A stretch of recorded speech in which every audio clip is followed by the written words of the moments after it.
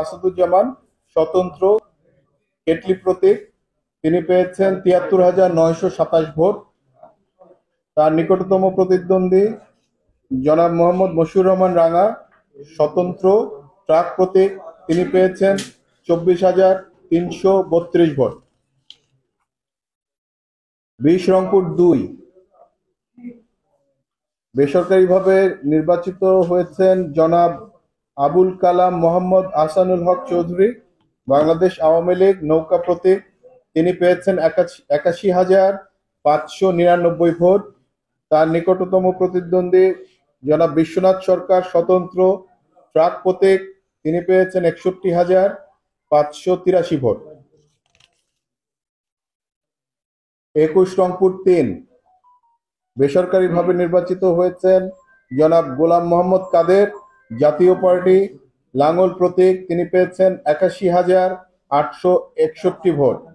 তার নিকটতম প্রতিদ্বন্দ্বী মোসাম্মদ আনোয়ারা ইসলাম রানী স্বতন্ত্র ইগল প্রতীক পেয়েছেন তেইশ হাজার তিনশো ছাব্বিশ ভোট।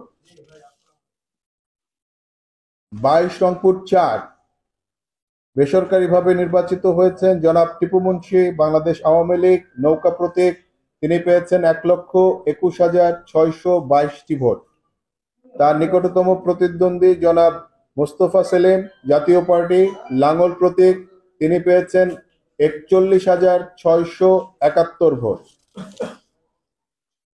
তেইশ রংপুর পাঁচ, বেসরকারিভাবে নির্বাচিত হয়েছেন জনাব মোহাম্মদ জাকির হোসেন সরকার, স্বতন্ত্র ট্রাক প্রতীক, তিনি পেয়েছেন এক লক্ষ নয় হাজার সাতশো নয় ভোট।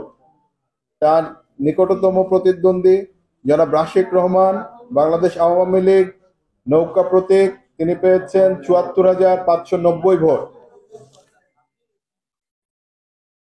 চব্বিশ রংপুর ছয়, বেসরকারিভাবে নির্বাচিত হয়েছেন জনাব শিরিন শারমিন চৌধুরী। বাংলাদেশ আওয়ামী লীগ নৌকা প্রতীক, তিনি পেয়েছেন এক লক্ষ আট হাজার ছয়শো পঁয়ত্রিশটি ভোট। তার নিকটতম প্রতিদ্বন্দ্বী জনাব মোহাম্মদ সিরাজুল ইসলাম, স্বতন্ত্র প্রাক প্রতীক, তিনি পেয়েছেন ছত্রিশ হাজার আটশো বত্রিশ ভোট। ধন্যবাদ।